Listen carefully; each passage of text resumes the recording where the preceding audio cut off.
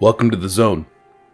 In today's episode, we'll be discussing the fire based anomalies that exist within the zone and the artifacts that can be found near them. If you enjoy the video, feel free to like and subscribe for more stalker related content. I would also like to take this time to announce that the channel has a Discord server now, as well as a Patreon page. If you would like to help support the channel financially, check out the Patreon link in the description. Without further ado, let's jump in. While it is one of the more common anomalies within the zone, the burner anomaly has claimed the lives of many unsuspecting stalkers who are unable to see the faint but telltale signs of danger. Burners can be found throughout the zone, but mainly within the Great Swamp, the Garbage, the Dark Valley, Yantar, and the Red Forest, as well as the army warehouses and Limansk.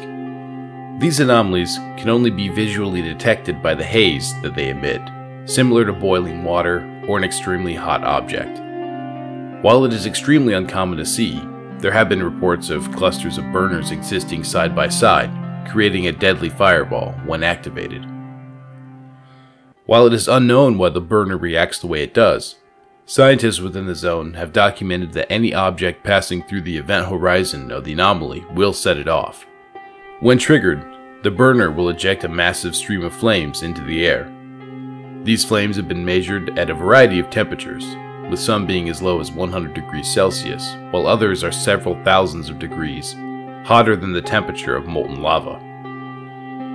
These more intense burner anomalies are hot enough to turn sand and dirt into glass, to melt steel beams, and to boil water that is meters away from the actual anomaly. The area around burner anomalies is surrounded by cracked concrete, ash, and deformed metal, as the flames spewing out of the anomaly destroy the surrounding landscape. While the burner mostly forms on land, there have been cases of the anomaly forming underwater. These underwater burners have been appropriately named boilers, as the triggering of this anomaly will cause a large area of water to instantly boil around its unsuspecting victim. Another variant of the burner anomaly is the comet, a mobile version. While burners and boilers are dangerous in their own right, a stalker with a good eye and a decent detector can evade the danger that they pose. A comet, on the other hand, is a mobile burner that moves about in predictable and chaotic paths, causing enclosed areas to become almost impassable for most stalkers. The artifacts that emerge from the burner family of anomalies have anti-bleeding, anti-radiation, and damage-resistant properties. Artifacts such as the Mama's beads and the eye have been highly desired by stalkers who wish to receive some sort of anti-bleeding property. Although there have been stalkers that have stated the Mama's beads also gave them bullet protection.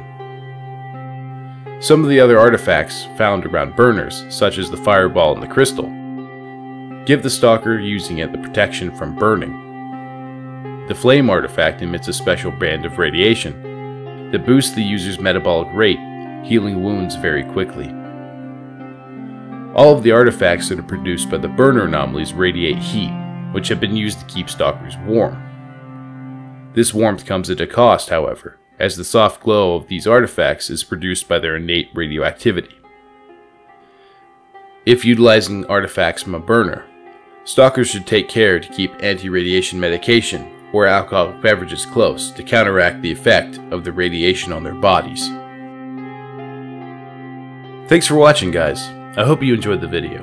If you did, feel free to like, subscribe, and hit the little bell icon for more stalker related content. Also, feel free to join our Discord server, as well as our Patreon page, with the links in the description below. Until next time, I'll see you in the zone.